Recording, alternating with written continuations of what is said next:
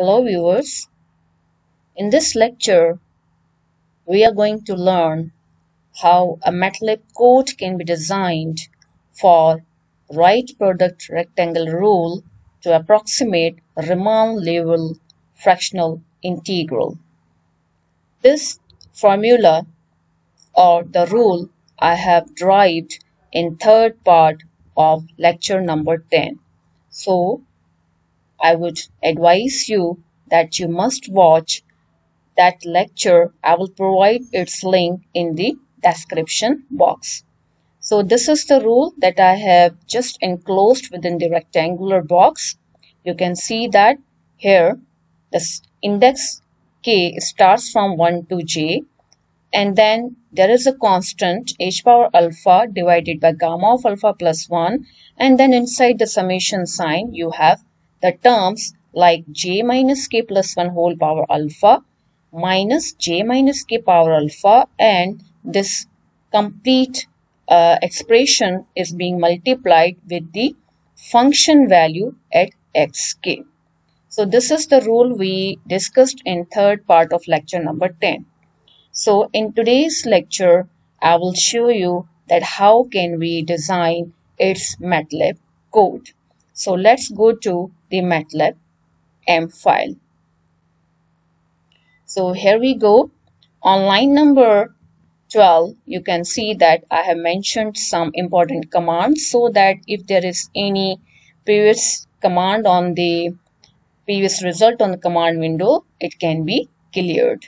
And then on line number 14, what you see is format compact. What this command will do, it will represent or it will show up the lines of the output without much space among them. So although it is not a necessary command, but I have mentioned for the sake of convenience.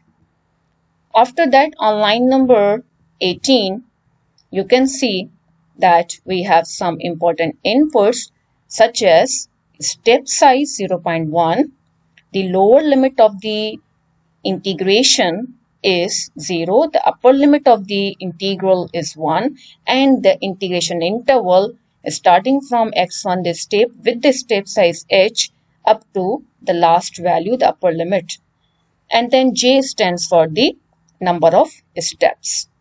Finally, you can see that we have this fractional order that I have arbitrarily chosen. So it is 0.845. You can choose any number for this value alpha. Then I have taken the function that is required to be integrated. So that function is chosen by me as sine x. Once again, you can choose any other function.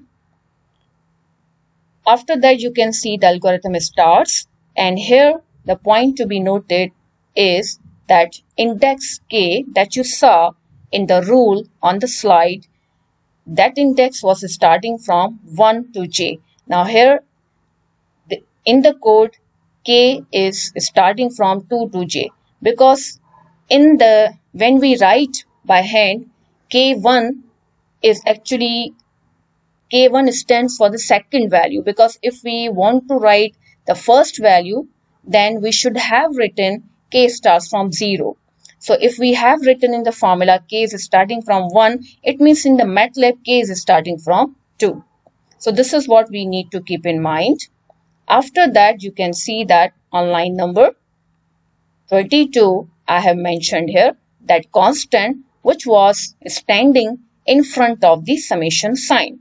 So that constant is h power alpha divided by gamma of alpha plus 1.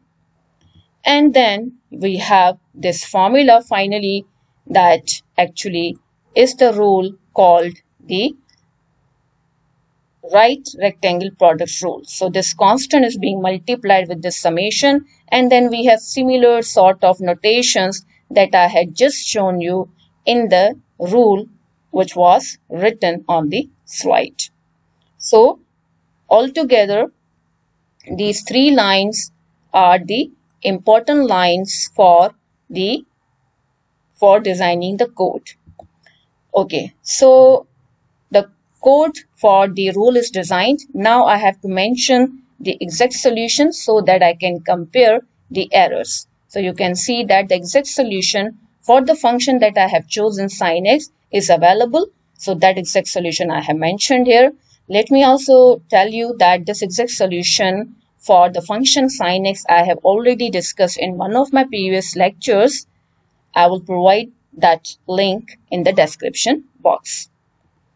Okay, so now you can see after mentioning the exact solution, we can easily compute the absolute errors on line number 48 is the formula for computing the absolute error. So exact minus approximate which we are getting from this right rectangular rule to approximate the RL fractional integral.